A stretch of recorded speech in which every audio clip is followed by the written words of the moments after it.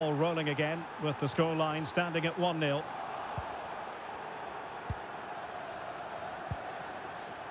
Kylian Mbappe. Mbappe. Top class defending.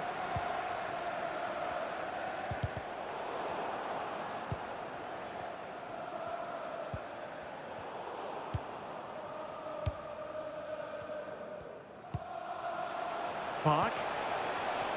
There to win it back.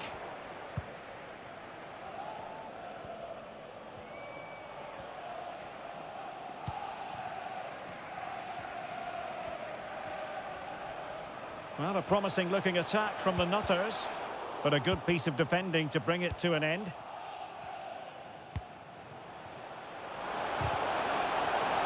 But doesn't have to do it on his own. Weghorst. Can he make it count?